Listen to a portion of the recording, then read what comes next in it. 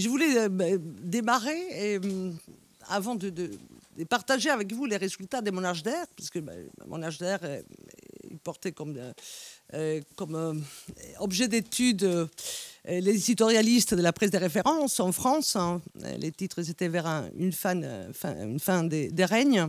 Je voulais partager un peu la- l'actualité aussi qui fait que euh, les éditorialistes se sont convertis euh, encore euh, une fois de plus en objet des, critiques et des controverses qui me semble quand même assez symptomatique euh, du peu d'évolution du part de cette fonction, euh, celle des, de l'éditorialiste euh, qui permet aussi euh, de, euh, de, de, de voir à, quel point il continue d'être objet des critiques. C'est vrai que euh, fameux déjà déjeuner qui a eu lieu, déjeuner avec Macron, des 10 euh, éditorialistes les plus influents en France, a permis encore de montrer aussi les limites aussi et les abus par rapport à l'offre, mais aussi voir comment aussi les pouvoirs essayent d'instrumentaliser également les éditorialistes toujours les plus influents. Je trouve très intéressant que parmi les dix euh, journalistes euh, éditorialistes invités à cette déjeuner euh, à l'Élysée, on voit quand même l'absence de la presse quotidienne régionale. On voit aussi, on ne connaît pas toutes les... J'ai essayé de compter hier soir et de trouver les noms, la liste des, parmi les éditorialistes, parce que c'est important de savoir quels sont les choix aussi des côtés du pouvoir, hein. quels sont les éditorialistes qui comptent aussi des côtés du pouvoir, euh, qui sont les plus influents. Et si on regarde, moi j'ai réussi avec euh, Alexis, on a compté tout à l'heure euh, lévrier, on a réussi à comptabiliser 8. On voit d'abord l'absence de la presse quotidienne régionale, qui est quand même assez symptomatique. Il parle aussi de, voilà, aux, yeux, du pouvoir, il compte pas du tout. On voit aussi qu'il y a beaucoup, beaucoup d'éditorialistes plutôt de la, des chaînes d'infos en continu. Ça nous, ça s'est traduit aussi par cette montée en puissance des, des, euh, euh, éditorialistes au néon, plutôt néo éditorialistes, parce que je voudrais tout à l'heure euh, parler de cette nécessité de redéfinir aussi euh, la fonction de l'éditorialiste. On voit aussi euh, également, bon, la presse écrite un certain recul, même s'il y avait donc une édi- éditorialiste du Figaro et aussi du, du Monde, et les Échos, qui étaient en même temps éditorialistes. Euh, à euh, et France Inter, mais quand même, hein, BFM, on voit aussi comment la radio, euh, il y a un autre journaliste euh, éditorialiste également de Radio Classique, on voit à quel point il y a un changement, un changement par rapport à ces journalistes qui font partie, qui comptent le plus parmi l'élite journalistique. J'ai trouvé intéressant aussi de euh, mettre en place aussi toutes ces critiques qui ne sont pas nouvelles. On a euh, les éditorialistes, ils font partie de la littérature, de, euh, des critiques aussi par rapport à leur proximité avec les pouvoirs aussi. Il faut aussi euh, évoquer également euh, ben, au moment, les prises de position des éditorialistes au moment de, de- de- du référendum euh, des Maastricht, euh, aussi euh, les plans Juppé également, ils ont mis en place euh, du plan Juppé. Il faut penser plus récemment, euh, les prises de position des éditorialistes aussi euh, concernant les mouvements euh, euh, des Gilets jaunes. Et actuellement, on voit comment les éléments du langage qui, partagé Macron par rapport à son plan des réformes ont été repris. Et c'est ça qui est, repris par tous ces éditorialistes invités dans cette euh, fameux euh, déjeuner off secret euh, qui finalement a été dévoilé. Donc tout ça, ça me semble euh, vraiment intéressant. Il fait partie de cette... mise en question. Je voulais évoquer aussi, euh, parce que mon travail euh, sur les éditorialistes et une mise en perspective historique, les, les noms d'un autre éditorialiste qui reste quand même euh, une référence en France parmi les grands éditorialistes, c'est Albert Camus. hein. Donc euh, j'ai eu euh, les plaisirs et l'honneur de consacrer un ouvrage aussi, éditorialiste indépendant, un exemple aussi euh, d'éditorialiste éloigné de lieux de pouvoir, justement. Et je voulais raconter, pour démarrer, avant de partager avec vous avec d'autres éléments des, des résultats de mon travail, cette anecdote euh, quand Camus confesse à sa mère qui avait été invitée à l'Élysée et à Catherine euh, Santes, c'était les, les noms de, sa mère, hein, d'origine espagnole par ailleurs.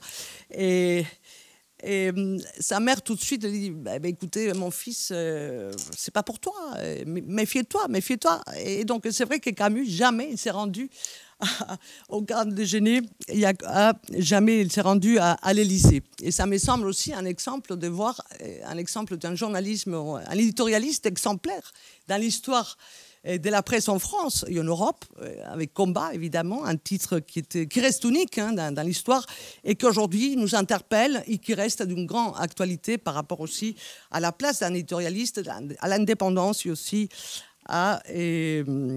à éviter aussi d'être enfermé dans un discours trop proche euh, des relais du pouvoir.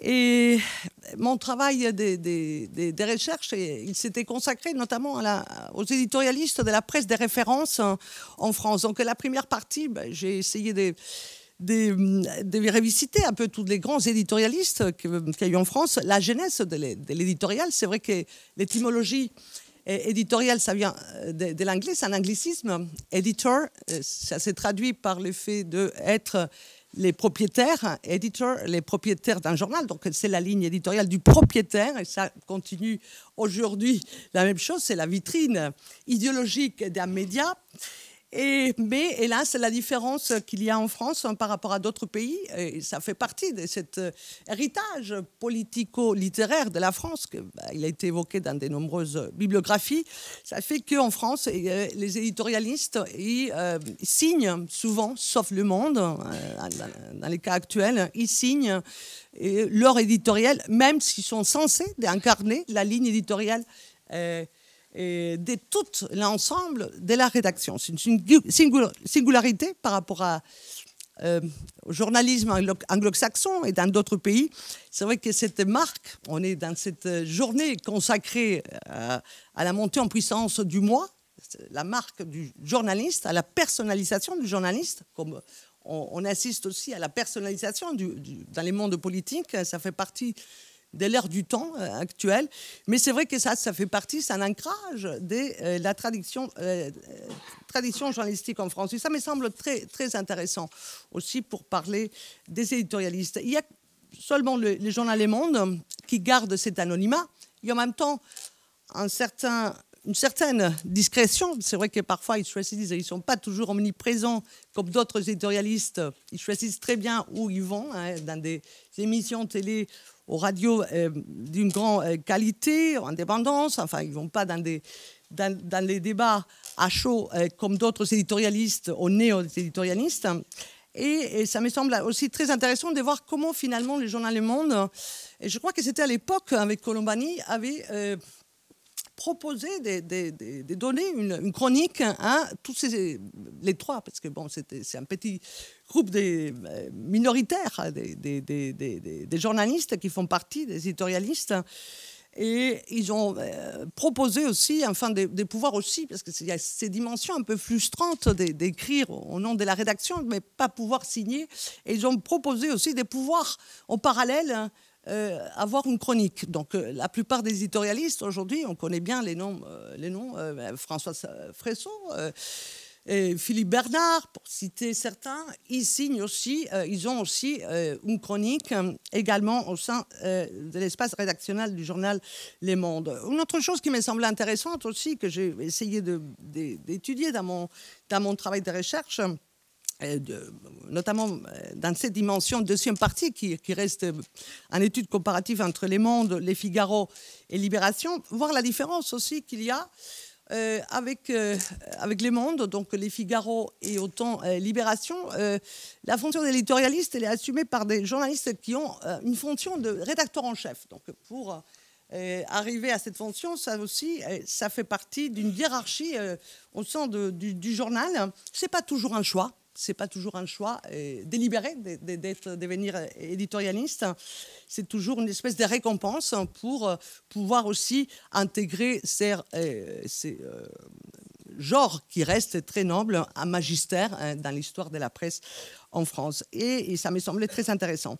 Quand j'ai travaillé sur les éditorialistes et cette étude plus dans ces dimensions d'actualité, euh, j'ai essayé de voir comment j'ai commencé en 2012 j'ai conclu mon travail en 2022, donc euh, euh, pendant dix ans, il y a eu une certaine évolution. Au départ, je peux constater, hélas, aussi, et ça fait partie peut-être du déclin de l'éditorial aussi, mais on verra tout à l'heure pourquoi, euh, la très peu d'évolution, ça reste un univers très masculin. Et les mondes des, éditorialistes, au départ, euh, euh, quand j'avais commencé en 2012, ben, la plupart, autant euh, au journal Les Mondes, il y avait que Sylvie Kaufmann, mais il y avait Alain Frachon, il y avait Gérard Courtois, enfin c'était minoritaire. Et c'est vrai que pendant ces dix ans que a duré mon travail, mon étude, les mondes quand même a réussi à avoir une parité. Donc actuellement, donc il y a Sylvie Kaufmann, mais il y a aussi Françoise Fresso, il y a une parité au sein du journal Le Monde, et également Libération, qui au départ, quand j'avais commencé mon, travail et mon étude, euh, et c'était à l'époque, il y avait Nicolas Desmorans euh, comme directeur, à cette époque-là, c'est vrai que la plupart des éditorialistes que j'ai eu euh, l'occasion, évidemment, d'interviewer, ça faisait partie de mon échantillon, c'était des hommes. Il y avait Vincent Giré, il y avait aussi également François Sergent, il y avait aussi euh, le directeur d'AOC, euh, comment il s'appelle euh, Je n'ai pas en tête actuellement. C'était Sylvain Bourmeau aussi. Donc c'était un univers, la parole, les spectrums, que c'est les pouvoirs, l'autorité morale de dire les derniers mots qui, fait partie de l'éditorial.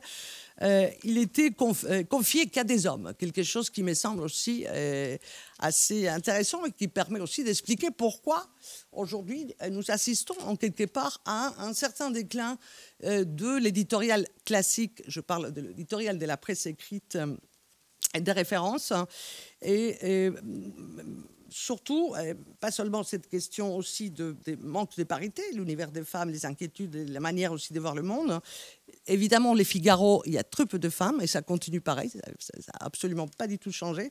Autre chose qui m'a semblé aussi très intéressante dans les profils d'éditorialistes que j'ai eu l'occasion d'étudier, c'était l'homogénéité aussi des parcours, l'homogénéité aussi par rapport à l'origine sociale. C'est vrai que bah, déjà la liste journalistique, euh, qui était l'objet des, des, ma thèse, on pouvait vérifier comment, évidemment, euh, les parcours, euh, il y avait euh, un parcours aussi d'excellence parmi des, établissements aussi assez prestigieux, des, écoles de journalisme aussi, la plupart parisiennes, et, et aussi un recrutement encore plus élitiste parmi les éditorialistes, encore plus qui l'élite journalistique que j'avais eu euh, l'occasion d'étudier suite à, ce euh, magnifique travail qu'avait fait Rémi Réfil et que j'ai eu l'occasion, qui est parmi nous. Et j'ai fait référence, qui avait euh, fait pendant les années 80 et que j'avais essayé pendant mon travail de thèse l'année 2000, mettre à jour. Donc ça, ça me semble très intéressant et très parlant aussi de cet déclin quelque part des éditorialistes et cette, disons, euh, éloignement de la part du public, de l'opinion publique, de la lecture des éditoriaux, comme je vais expliquer tout à l'heure.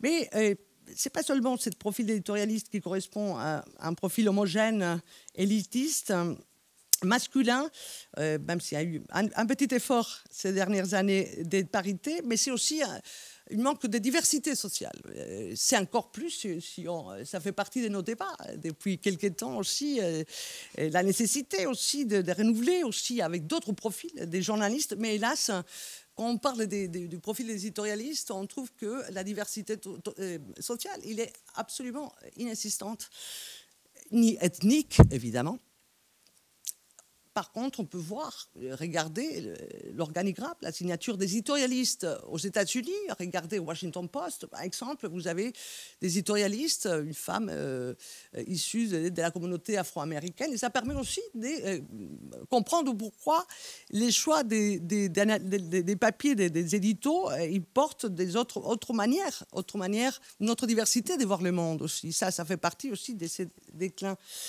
Et dans mon travail et comme je disais, essayé un peu de, comprendre pourquoi cette euh, déclin, en quelque part, cette désacralisation aussi de la parole de l'éditorialiste aujourd'hui. Nous sommes dans une nouvelle époque. C'est vrai qu'on assiste à un, nouvel écosystème médiatique avec l'émergence notamment des médias, des chaînes d'infos en continu, des radios qui ont usurpé, usurpé donc euh, emprunté et l'éditorial, il, a été adapté donc euh, avec des nouveaux formats et un format qui, qui est aujourd'hui, qu'on y trouve avec des duels, des éditorialistes, notamment dans l'univers audiovisuel. Et ça me semble très intéressant parce qu'on on assiste aussi à une certaine, certaine amalgame dans la fonction d'éditorialiste. Euh, ils ont emprunté les titres d'éditorialistes des gens qui parfois ils sont même pas, vraiment, ils font pas partie du métier de journaliste. Il y a des commentateurs, parfois il y a des sociologues, des gens qui viennent d'autres métiers, mais ils sont tous présentés sur l'étiquette des, éditorialistes et ils font partie de la fabrique de l'opinion. Donc c'est vrai qu'il y a eu un changement dans ces domaines-là. On peut euh, évoquer qu'on euh, assiste à un, écrasement des, hiérarchies, une espèce d'égalitarisme des positions, euh, où tout se vaut, où toutes les paroles sont égales, et notamment euh, des gens avec ce titre que je, me suis permis d'appeler néo-éditorialistes, des nouveaux éditorialistes, mais, qui ont joué un rôle aussi des, vraiment des aussi de la parole légitime qui avait eu un auparavant les éditorialistes de la presse de référence en France. C'est là où les genres, il a été euh, emprunté toutes ces lettres des, noblesses.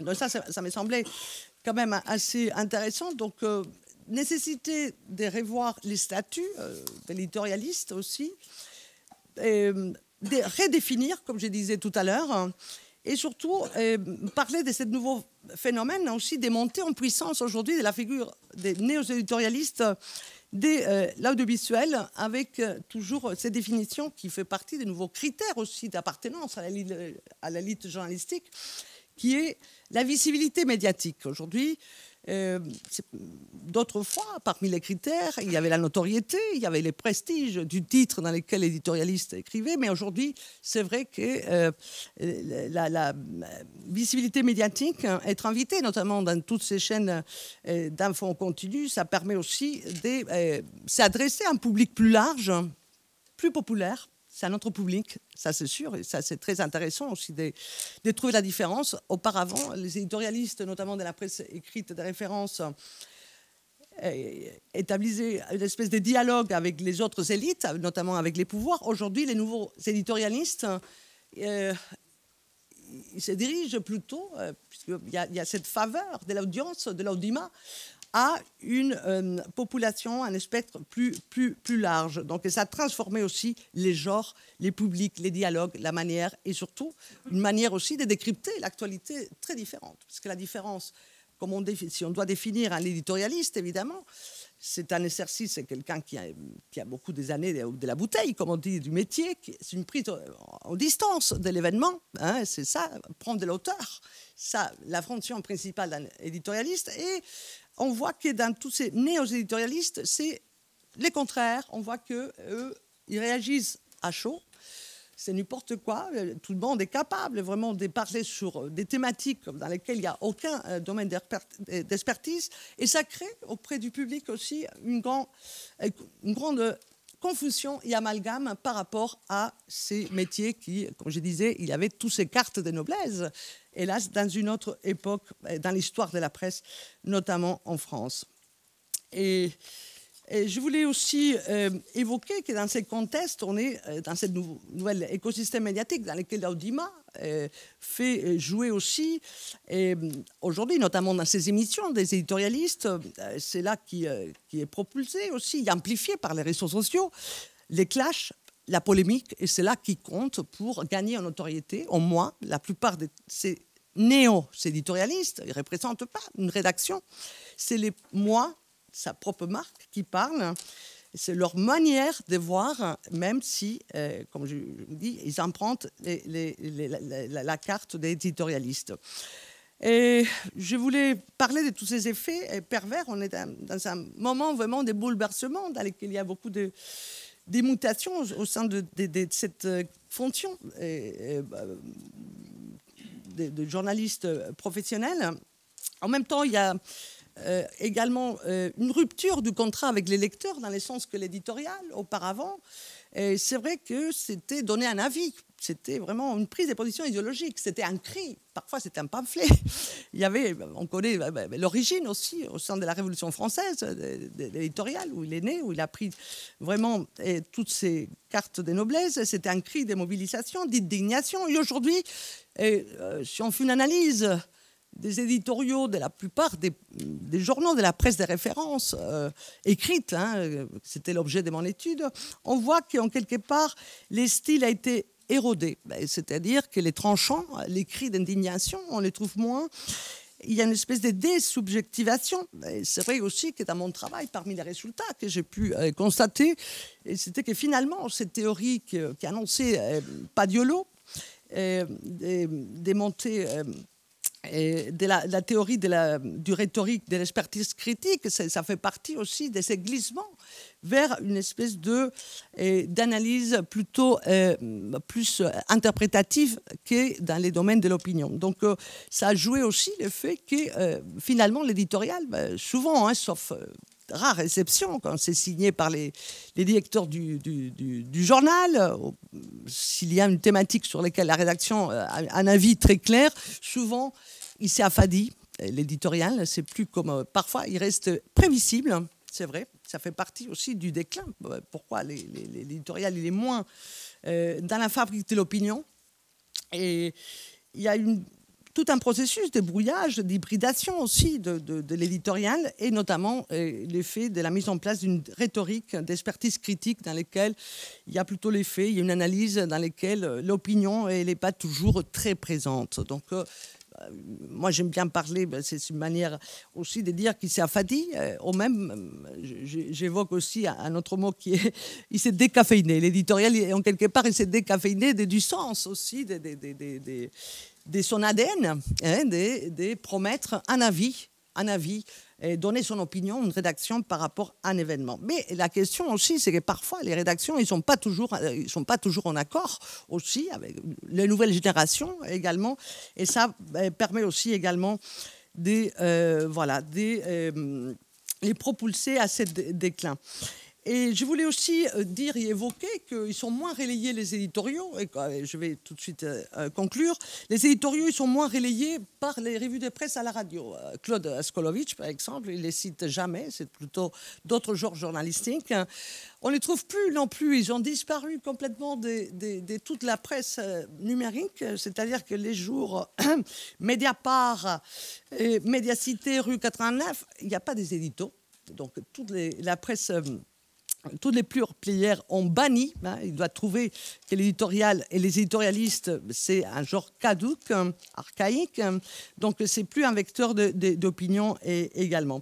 Je voulais aussi, pour euh, conclure dans, mon travail, évoquer que. Et, un autre aspect qui me semble intéressant, c'est la bataille idéologique qu'ils sont en train de mener également les éditorialistes, notamment des médias audiovisuels. Une bataille idéologique qui est en, rapport avec l'achat par Bolloré aussi, euh, des, plus chers médias, et qui fait qu'aujourd'hui, euh, il y a toute une bataille idéologique euh, d'ultra-droite qui est en train d'être menée, qui me semble très, très inquiétante aussi, pour décrire également la montée en puissance de certains éditorialistes qui sont dans les clashs, etc. Je voulais donc rappeler, comme je disais, pour conclure, toujours Albert Camus, vous me permettez, hein, ça fait partie de mes faiblesses aussi, comme éditorialiste, qui me semble, euh, qui me semble véritablement un, exemple d'une figure d'indépendance et, vraiment des prises de position importantes aussi. Et, rappeler euh, la dernière phrase euh, voilà, qui avait été évoquée par sa mère et que lui, il a toujours respectée et qui me, me paraît aussi aujourd'hui importante pour éviter les discrédits les désaveux qu'ils ont eu les éditorialistes euh, dans l'histoire euh, récente ces dernières années et qui me semble importante pour renouveler aussi la confiance avec les publics parce que cette confiance elle était notamment euh, perdue et, c'est vrai que ça fait partie d'un échantillon minoritaire évidemment mais les plus critiqués et les plus controversés du métier aujourd'hui. Et donc j'ai fini avec cette méfie-toi, mon fils n'y va pas. Merci beaucoup.